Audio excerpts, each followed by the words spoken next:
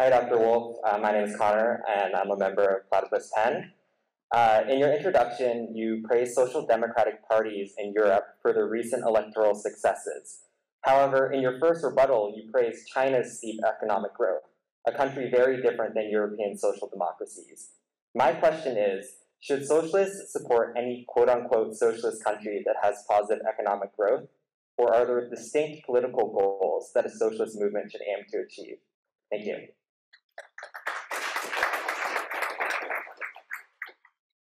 Anyone who spends time thinking about different societies and who's a reasonable human being will come up with a number of indices.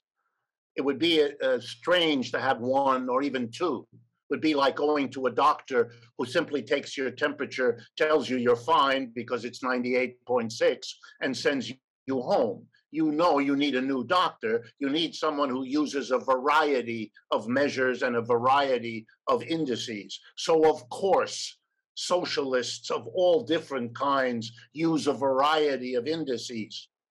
But if you want to talk, as apparently some of us do, about individual freedom, then ask yourself what, how it helped your freedom to have to go into debt to get a college degree, a debt that you will carry for the rest of your life. What a crazy capitalism that puts your income and the cost of an education in such a relationship that you have to go into lifelong debt. And we know what it's costing. Of course, you can blame the government because we have a theory here that blames everything that's unfortunate about capitalism on the government so that the capitalism can still escape the responsibility that it ought to have. Social democracy in Europe has one index China has a different. I'm not sure it makes much sense to apply the standards of one to the other, but both of them have gone a long way in changing the conditions of the capitalism they inherited. Thank you. Uh, it is truly amusing to hear uh, student debt blamed on capitalism. You know, there are three prices in the U.S. economy that have gone up nonstop uh, education, housing, and healthcare. All student debt who do you owe the student debt to, by the way? Who do you get the student debt from? Banks? Private banks? Is there private sector involved? No. 100% of student debt today is to the government. If you forget Obama basically nationalized the whole student debt, you are paying your student debt, the interest payments to the government. Uh, healthcare. Healthcare in the United States is close to 60% government run. Uh, 60 cents of every dollar is spent by the government on healthcare. And finally, housing, well, we all know uh, the degree to which local governments, in this case, control the supply of housing and create an artificial, uh, artificial uh, shortages. So every other price in the economy, almost every other price in the economy, is declining, particularly in those areas where the government has had relatively hands-off, like technology. Prices are plummeting. It's only in the areas where the government is hands-on, aggressively hands-on, where prices only go up. Markets reduce prices, increase quality, always.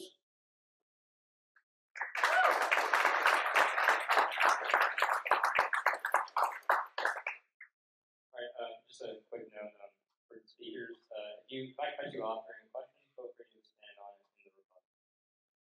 Expand on it. Yeah, oh. Hi, so this question is for Dr. Brook. Um, freedom and success have been major uh, points this debate, and I'm sure we'd all agree that happiness is, you know, integral to those two ideas, freedom and success. So, considering that, how would you explain that uh, compared to other social democratic countries, I won't call them socialists, but countries that adopt more socialist policies like France, Sweden, Norway, Finland, uh, the United States uh, has higher mental illness rates, uh, overall lower quality of life by pretty much all uh, all metrics, um, and lower health outcomes. How would you explain that? I, first of all, I dispute all of those statistics. It's just not true. Uh, you know, the French, certainly the French, uh, they live in smaller houses, drive smaller cars, have smaller lives than Americans do. They make a lot less money. They have a lot less wealth. And when, uh, when uh, you are sick and you have a little bit of money, you don't go to France to get treated. You get on a plane and you come to Mayo Clinic, which is what Berlusconi and pretty much any political leader in Europe does when they get sick. They don't go to France. They don't go even to Germany, which is significantly better healthcare than France. But look, I'm not here to defend the American system. The American system, as I said originally, is no good. The American system is way too socialist. It's way too has way too much government involvement in it. We would be much happier, much richer, much wealthier. We'd have a thousand times better health care if it was privatized. If it was actually, if the government got out of the business of healthcare and actually allowed, do you know, the, the little bit of private sector healthcare that we have in the United States today provides 70% of all the innovations around the world. Um, it provides almost all in, in every aspect of healthcare.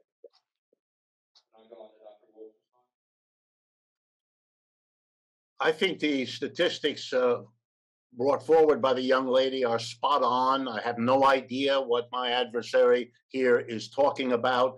The United States spends a larger share of its GDP on healthcare than any other of the countries in Europe by a wide margin, even though they have a greater degree of state support for health insurance for everybody from birth uh, to death.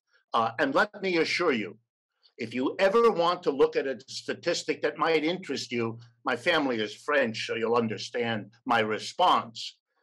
Uh, the number of Americans who go to France to enjoy the quality of life there dwarfs by an order of magnitude the reverse flow. And you might think about why that is.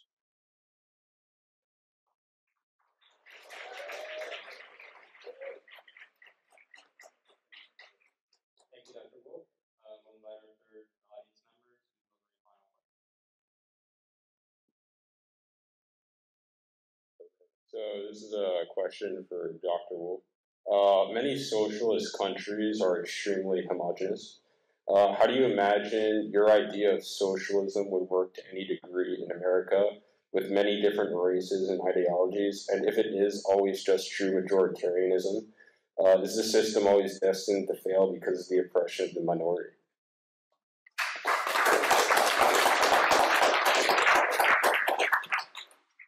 Well, you know, many of the countries that have made experiments in socialism have not been whatever exactly you might mean by homogeneous. They've had to deal with all kinds of ethnic, religious, regional minorities. Uh, if you remember, the Union of Soviet Socialist Republics called itself that odd name because it was, in fact, a collection of very different people, very different nations, with different religions, with different ethnic and value systems, and so on. And they had a struggle all through their lives about how to deal uh, with that kind of a situation.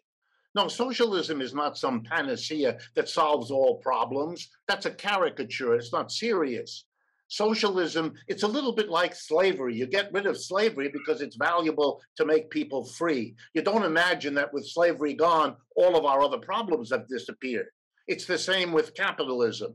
We got to get rid of a system that organizes itself for the control by a very small minority of employers who have absurd power over the mass of the majority which have to be sustained in that unequal situation by being endlessly regaled with stories about their individual choices, which of course they can't make because of the structure of the system that constrains them. That's the issue.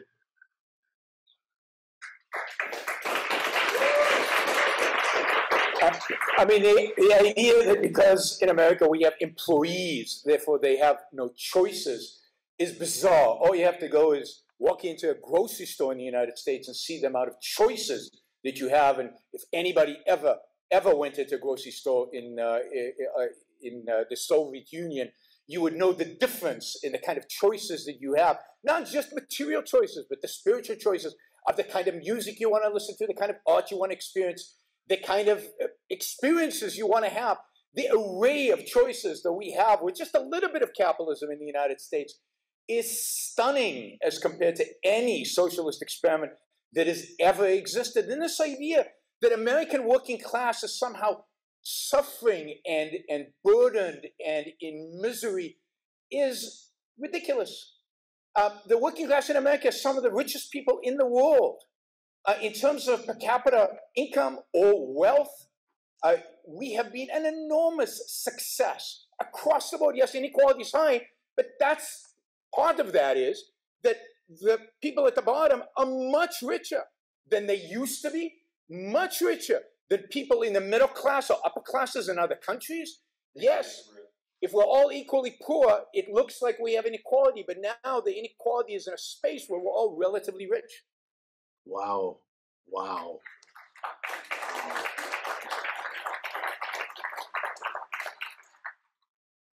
Thank you all. Thank you for listening or watching the Yaron Brook Show. If you'd like to support the show, we make it as easy as possible for you to trade with me. You get value from listening, you get value from watching. Show your appreciation. You can do that by going to yaronbrookshow.com slash support, by going to Patreon, Subscribe Subscribestar, Locals, and just making a appropriate contribution uh, on any one of those uh, any one of those channels. Also, if you'd like to see the Yaron Brook Show grow, please consider sharing our content and of course subscribe press that little bell button right down there on YouTube so that you get an announcement when we go live. And for you, those of you who are already subscribers and those of you who are already supporters of the show, thank you. I very much appreciate it.